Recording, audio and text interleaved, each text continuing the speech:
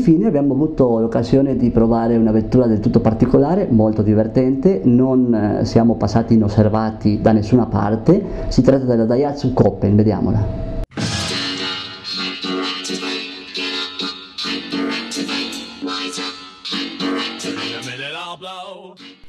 La Daihatsu Koppen offre sensazioni e particolarità che risultano difficili da trovare nelle offerte automobilistiche odierne. Una vettura del tutto originale, che a guardarla risulta simpatica, con la quale potete andare in giro in versione coperta o scoperta come una vera roadster e che addirittura ha gli ingombri contenuti per circolare senza problemi in città. Aggiungendo al tutto un motore Euro 4 grintoso al punto giusto, come per offrire emozioni ma senza esagerare, con consumo contenuto di benzina ed una spesa di acquisto che varia tra i 18.500 e i 19.500 euro. Questa è la sintesi della Daihatsu Koppen che abbiamo provato grazie alla gentilezza di Daihatsu Italia.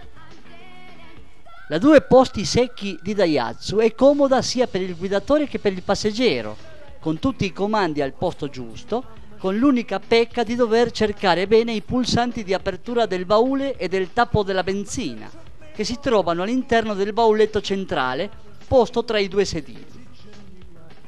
Il volante a tre razze in pelle della Mommo e le finiture degli interni offrono un'atmosfera del tutto particolare all'interno della piccola giapponese la strumentazione di bordo è circolare e la console centrale è molto spartana come design, anche se per la verità possiede tutto quello che è necessario per il comfort di marcia. Nei nostri giri di prova abbiamo sempre attirato l'attenzione ed un sorriso dovuto al particolare design, molto riuscito sia come linee tondeggianti che come ingombri, di solo 3440 mm di lunghezza 1475 mm di larghezza e 1245 mm di altezza. Completano il design da cartone animato il posteriore, con i due tubi di scarico di sezione tonda posti in mezzo e tutto l'insieme di linee e gruppi ottici che la rendono veramente unica. Ah, riguardo il bagagliaio, scordate di portare grandi valigie, oppure dovrete semplicemente viaggiare in versione chiusa per fare posto nel bagagliaio posteriore. Il tettuccio si apre in solo 20 secondi, azionando il pulsante e restando in attesa del bip che segnala il completamento dell'operazione, ricordando di tirare il freno a mano e di sganciare il tettuccio manualmente prima di iniziare l'apertura. In versione aperta si vedono bene il roll bar, utili per la sicurezza, ben rifiniti e anche molto belli da vedere.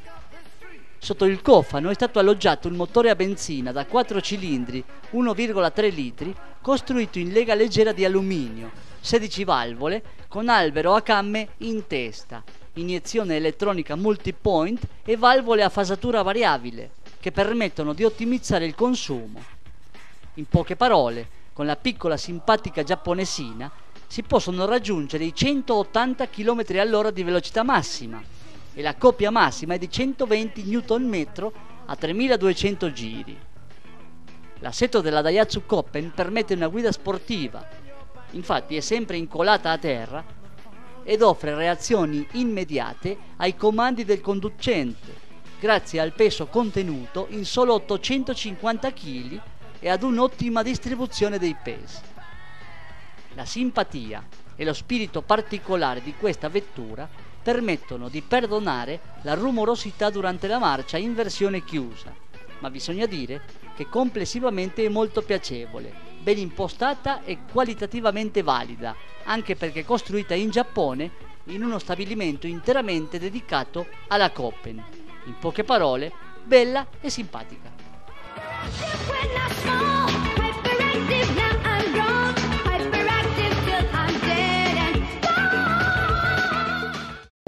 È così in questo modo che noi finiamo la puntata numero 14 di Motor News, noi vi ringraziamo per averci seguito e sarà alla prossima settimana sempre in questa rete a questo orario. Grazie, arrivederci e buona settimana a tutti.